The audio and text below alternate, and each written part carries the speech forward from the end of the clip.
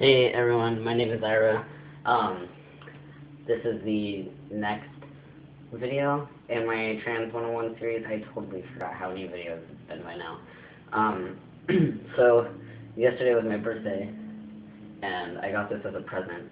Um, both the board and the little easel, uh, which I literally just put together right now, so I could use it for you. uh, and it's, isn't it? It's beautiful now. I can give all of the lectures. I'm really excited about that. Anyway, okay, so the gender binary. Um, there is the gender binary, and then I guess you could say there is the gender non-binary. Um, if you remember how we talked about what is normative versus what is normal, the gender binary is what is normative. So for those of you who don't know what the gender binary is, you actually do know what it is because it's how we teach about gender in the first place. You know, you have the female and the male counterpart. Um, and and that's synonymous with man and woman.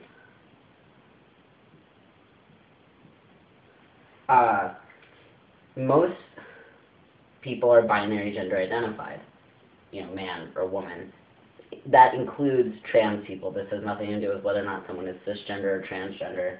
And I want to be clear that a lot of people, when they first come into understanding queer theory and understanding, you know, transgender identities and politics and activism, one of the things that you'll see a lot of people ask is, well, why do you guys hate on men and women so much, and why do you hate on cisgender people so much, and such and so forth. And here's the thing: it, there's nothing there's nothing wrong with identifying as a man or a woman. There's nothing, and likewise, there's nothing wrong with being cisgender. There's nothing wrong with being part of any privileged group. The thing that's wrong is creating an institution that makes a specific group of people privileged for nothing other than an identity that they hold. Does that make sense? Right, so that's pretty simple. Most people know what the gender binary is. They just don't know that it's often referred to as the gender binary.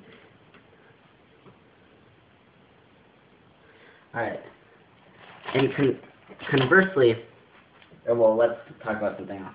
Um, so, remember how in the second portion of the terms video we, um, I don't know if I went over it, I don't remember, but we talked about what cissexism is, and we talked about what transmisogyny is. I do believe that we talked about we may have talked about binarism, but I just want to briefly go over it again.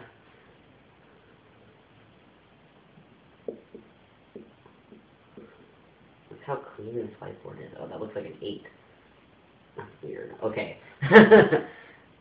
um, binarism is the notion that people who identify as men, as women, or as men are more important, more valid, more real, more legitimate, etc., than people who don't identify as women or as men or who identify as both or who only sometimes identify as either of those things.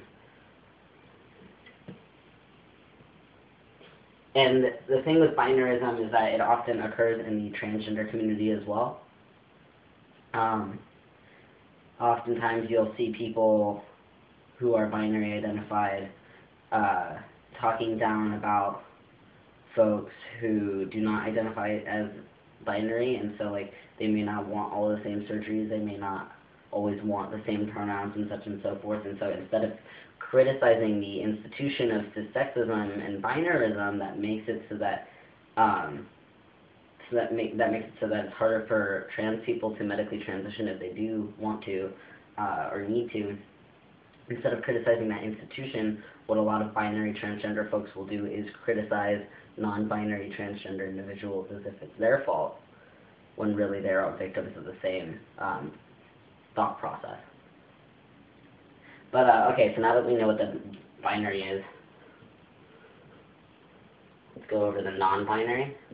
And we went over this a little bit in um, terms, non-binary meaning someone who does not always identify as a man or as a woman. Um, so someone like, here are some like non-binary gender identities. Uh, some folks may have already heard of these before. And I'm not going to necessarily get into what all of those, what all of these mean. Um, we I also have another video that I'll link to, um, a lecture that I gave a little uh, in October, so you can check that out if you'd like.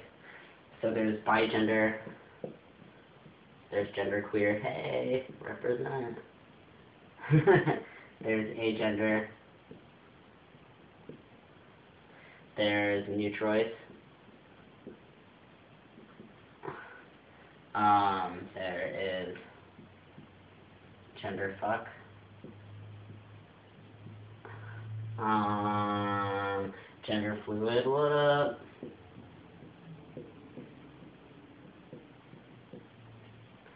And such and so forth. Um, there's a lot more. I don't, I don't want people who go away from this video to think, well, Ira taught me that there's actually now eight genders.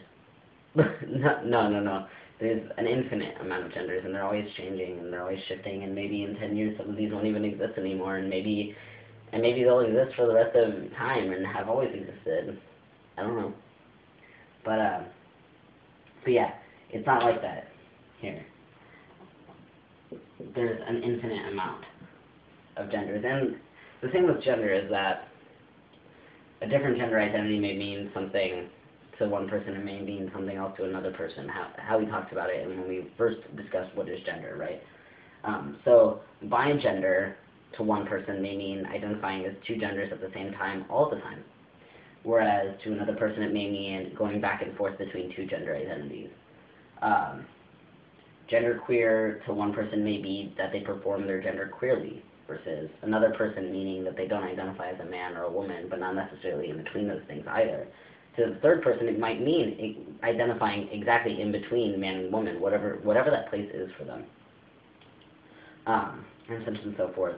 The best way to learn about these gender identities is to read about them from various experience-based writings, I would say. Um, and if you know, and if a trans person nearby or that you've come in contact with is willing to to talk to you about like what their gender means to them, what their gender identity means to them, and like you could always ask. But at that same time, if you ask and they say no, that's not something I'm comfortable sharing with you, you don't meet them with hostility and say, oh hey, you're not teaching me or whatever, and I'm forcing you to be the form of educator right now, and such and so forth. No, trans people are just like any other person. We don't always necessarily want to educate people. But uh, yeah, let's see if I. Um, in one of the videos that we've already gone over, um, we talked about the normative trans narrative and how that's damaging to people. The people who identify within the non-binary umbrella,